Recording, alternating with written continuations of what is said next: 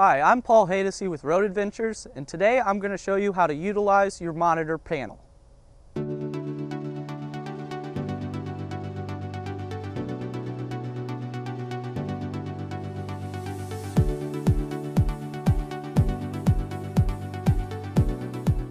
This is an example of your monitor panel. Here you can view your tank levels and control your water system. On this monitor panel, you'll also find the controls to your water system, which includes your water heater and your water pump switches. To view your tanks, simply find the levels test switch, push and hold. Once you do that, you can now see the levels of your black, gray, and freshwater tanks, as well as your propane and battery charge. Thank you for watching. To check out more how-to videos, visit our YouTube page or go to roadadventures.com and start planning your next great American getaway.